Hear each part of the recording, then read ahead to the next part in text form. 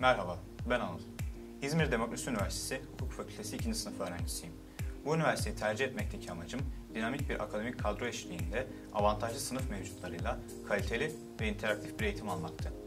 Öğretim üyelerimize doğrudan ulaşabilmek ve pratikte etkili bir eğitim alabilmek fakültemizin çok önemsediği ve bize oldukça katkısı olan noktalardır. Geride bıraktığım bir yılda da bu seçimin ne kadar doğru olduğunu görmüş oldum. Gerek ulaşım imkanları, gerekse çevresinde barındırdığı sosyal imkanları üniversitemi tercih etmemde oldukça etkili oldu. Ve bunun da faydasını görmekteyim. Eğer siz de bu imkanlara sahip olmak istiyorsanız İzmir Demokrasi Üniversitesi doğru tercih.